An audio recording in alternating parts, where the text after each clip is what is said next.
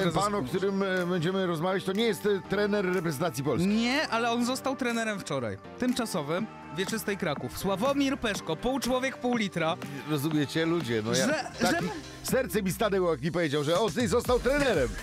Ale- mówię, Jak, a Papszun? Ale, ale słuchaj, to, to jest idealna kandydatura, ja bym, ja bym się nie wahał. Znaczy, No dość mu, ja- dobra, ty mi powiedziałeś, doświadczenia nie mam, doświadczenia Nie ma żadnego doświadczenia, tak. to teraz Ale będzie nabywał doświadczenia. zrobi w reprezentacji, O, tak. tego brakuje na pewno To im. prawda, no i on by się nie obcygalał z piłkarzami, No. on ich zna, więc jeżeli by od niego zależało, wiesz, Aha. hard ducha na boisku Dokładnie. i jakiś taki malutki obcyngol, No. no to wiesz, Lewy, kto ty jesteś? Gdzie ty grasz? Teraz jest reprezentacja, nie Barcelona! Tak jest. Grasz!